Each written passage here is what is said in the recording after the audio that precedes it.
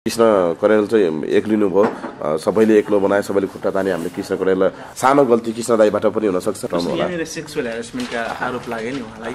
के भने केटाकेटी भनेको एउटा विपरीत लिङ्गी हो। एक अर्कामा आकर्षित हुनु आफ्नो ठाउँमा छ। रिसले कसैले फाइदा गर्दैन चाहे सानो मान्छे होस् चाहे ठुलो मान्छे होस्। पारिवारिक एउटा झगडालाई चाहिँ सबै बसेर समाधान गरेको भए हुन्थ्यो। आक्रोशलाई पैताला मुनि दबाएर चाहिँ एक अर्कामा के भएको हो? एउटा इन्द्रेणी भनेको मैले यति मात्रै बुझेको छु कि नेपाली लोकगीत सङ्गीत क्षेत्रमा लाइभ दोरी गाउने क्रममा अन्तिम केन्द्रबिन्दु भनेको इन्द्रेणी हो। कृष्ण दाईको पनि कमजोरी हुनसक्छ। आज काठीको घाउलाई लुकाएर निको भइसकेपछि चाहिँ फेरि यहाँनिर मेरो काटेको थियो ल हेर्नुहोस् भनेर कोट्याउनु चाहिँ राम्रो होइन। हामीले यहाँनिर काटेको छ भनेर उत्तिनखेरि देखाउन सक्नुपर्छ। टाउकै फुटे फोरे पनि खुट्टै भाँचे पनि हामीले ज्यानै फाले पनि अदालतको निर्णय बाहेक हामीले कुर्नु बाहेक अरू विकल्पै छैन। सिङ्गो यो गीत सङ्गीत क्षेत्रलाई पनि असर परेको छ। ओहो कलाकारिताभित्र त यस्तो हुँदो रहेछ है भन्ने चाहिँ हामीलाई चाहिँ यस्तो मान्छे वकिलले बोलाएर साइन गर्न लाग्यो भने त्यो त्यसमा चाहिँ उहाँहरूले पनि पढ्न सक्नुहुन्थ्यो।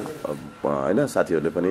एक अर्काको खेदो खनेर केही पनि हुँदैन यहाँ। मरेर जाँदाखेरि शरीरमा लागेको एउटा वस्त्र पनि खोलेर चाहिँ जलाइन्छ खरानी भएर हामी माटोमा मिल्छौँ भने जब हामीले ग्यास्ट्रिक भएको छ नि त्यो दुर्गन्ध चाहिँ टाढोसम्म फैलिन्छ भन्न खोजेको। कृष्ण दाईका कामहरू एकदम प्रशंसा गर्न लायकका कामहरू छन्। काम गरुन्जेल फलान दोरी वा राम्रो आउनुहोस् यो दोरीमा म आबद्ध छु भन्ने काम गरेर छोडेपछि ए त्यो दोरी तलब दिँदैन यस्तो त्यो कहिले पनि त्यो गर्नुहुन्न। कृष्ण दाई दोषी हुनुहुन्छ नि कृष्ण दाईले भोग्नुहुन्छ सजाय। शर्मिलाजीसँग पनि मेरो हाइहालो बोलचाल हुन्थ्यो। अहिले इन्द्रेणी र कलाकारहरूको विवाद सामाजिक सञ्जालमा चर्को रूपमा उग्र रूप लिइरहेको बेला तपाईँ एउटा कलाकारको हिसाबले यो घटनालाई चाहिँ कसरी लिनु भएको छ?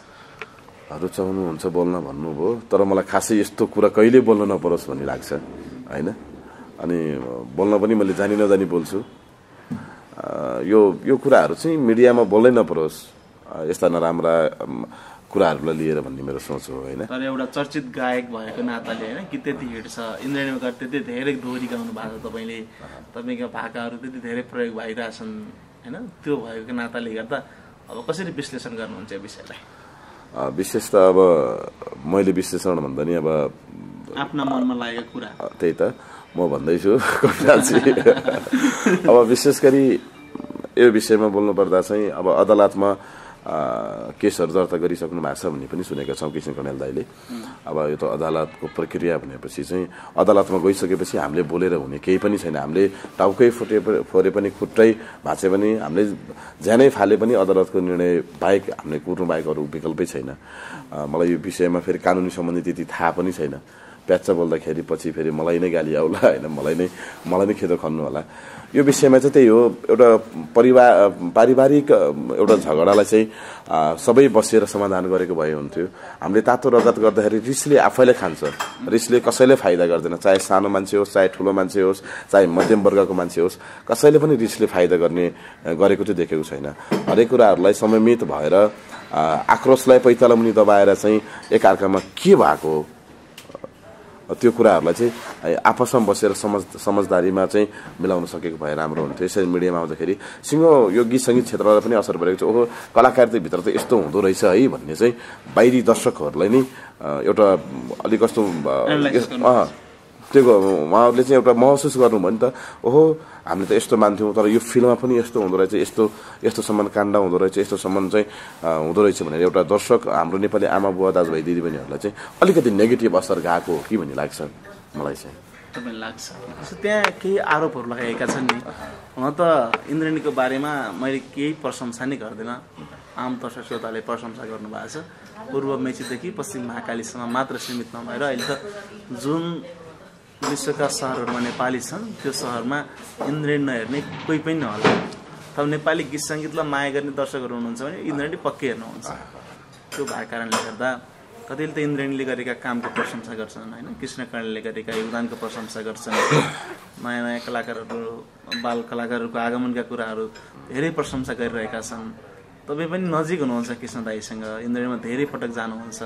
त्यो आरोप जुन लगायो नि केही कलाकारहरूले नाम त किन भन्नु पर्यो र केही व्यक्तिले आरोप लगाउनु भयो त्यस्तै बानी बेहोरको हुनुहुन्थ्यो र उहाँ?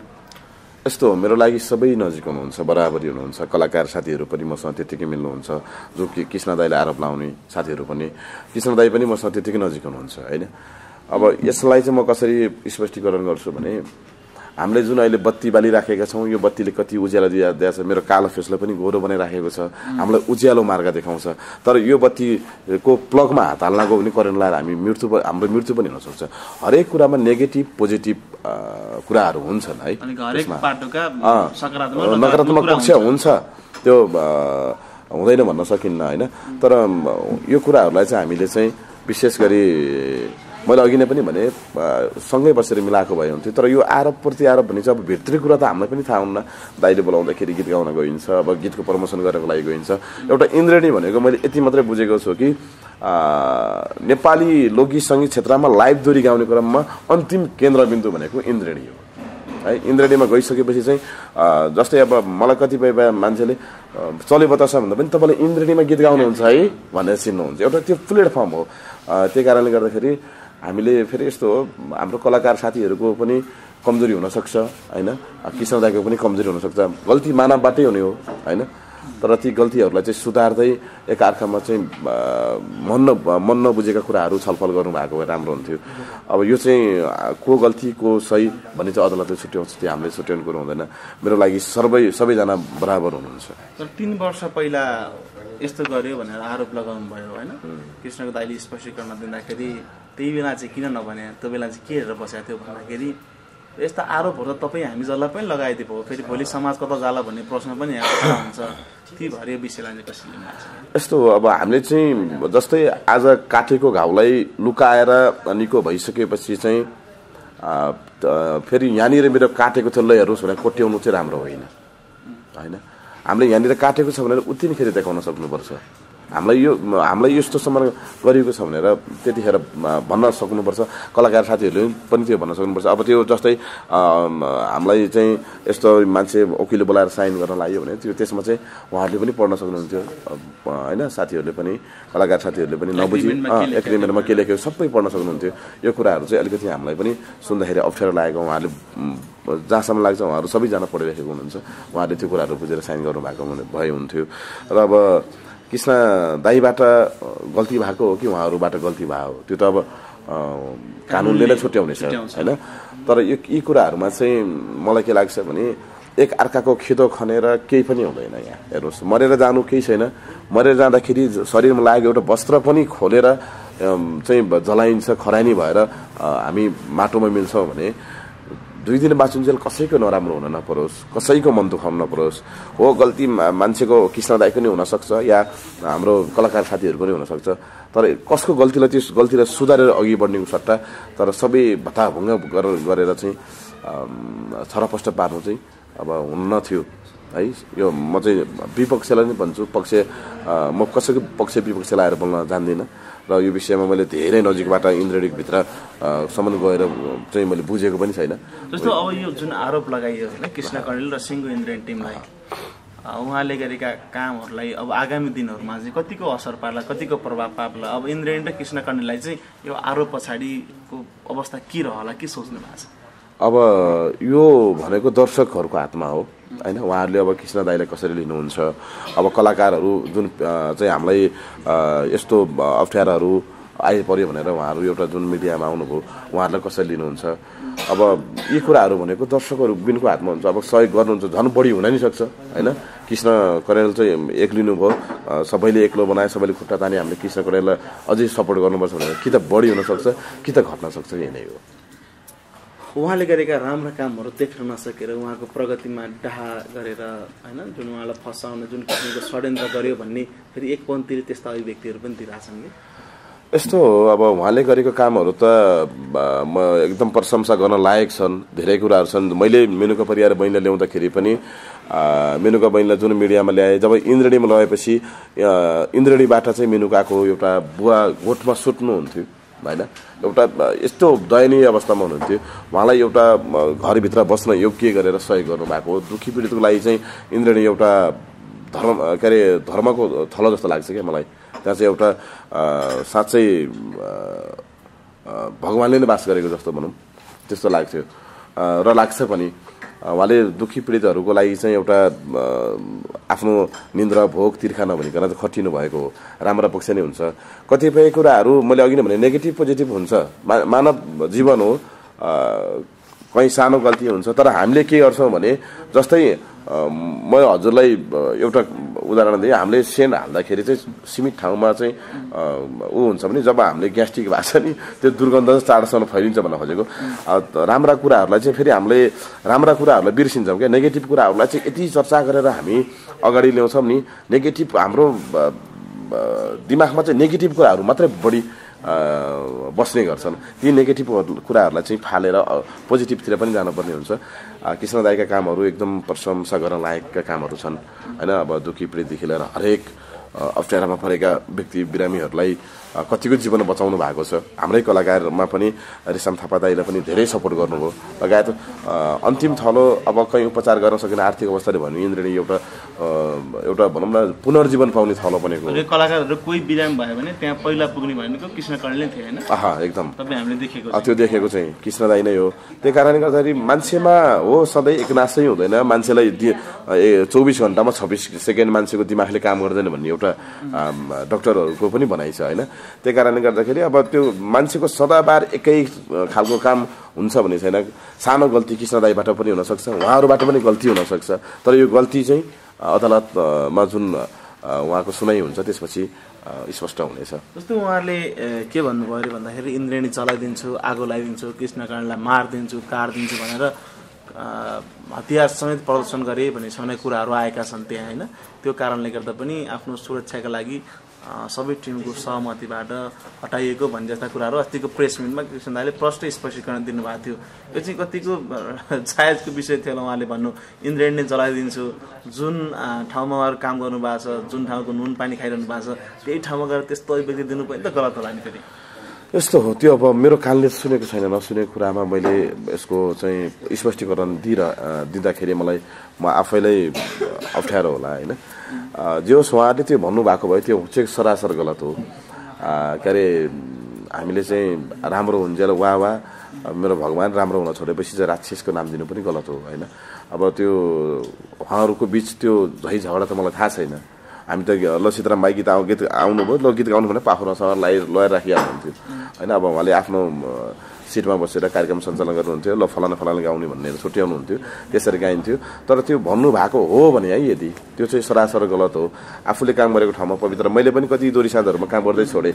काम गरुन्जेल फलान दोरी वा राम्रो आउनुहोस् यो दोरीमा म आबद्ध छु भन्ने काम गरेर छोडेपछि ए त्यो दोरी तलब दिँदैन यस्तो। त्यो कहिले पनि त्यो गर्नुहुन्न। किनकि हरेक कुराहरूमा चाहिँ हामीले आफूलाई हुनुहुन्जेलसम्म राम्रो भन्ने अनि आफूले हुन छोडेपछि चाहिँ नराम्रो भन्नु चाहिँ त्यो हाम्रो चाहिँ राम्रो होइन राम्रो पक्ष होइन। त्यही कारणले यो भन्नुभएको भए चाहिँ उहाँहरूको पनि यो सबै कुराहरू त अब प्रमाण नजुटे हामीले बोल्न पनि मिल्दैन प्रमाण जुट्ला सबै कुराहरूको होइन। अब कृष्ण दाईले पनि प्रमाण जुटाउनु हुन्न कलाकार साथीहरूले पनि प्रमाण जुटाउनु होला। सेक्सुअल हेरेसमेन्टका आरोप लाग्यो नि उहाँलाई। दाइले त प्रमाणित पेस गर्नुहोस् होइन कानुनी कारवाही भयो भने म भोग्न तयार छु प्रमाणित भयो भने होइन भने यसरी मेरो चरित्र हत्या भयो भनेर अस्ति अदालतमा गएर पनि काठमाडौँ जिल्ला अदालतमा केस दर्ता गरिसक्नु भएको छ। त्यस्तो लाग्थ्यो र सेक्सुअल हेरेसमेन्ट गर्नुहुन्छ जस्तो लाग्थ्यो तपाईँलाई कृष्ण कटेलले?